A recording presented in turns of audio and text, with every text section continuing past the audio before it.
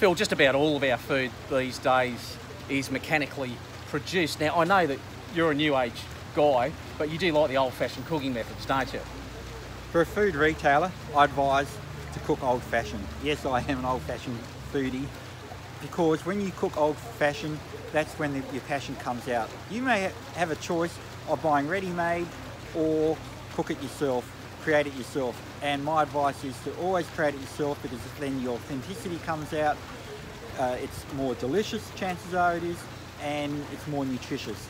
Not only that, you're more passionate. And if your customers can see your passion in it, that's what really counts. Nothing like being authentic, folks. Even if you're a new age guy like this bloke. He makes good butter too. Okay, do. see you next time.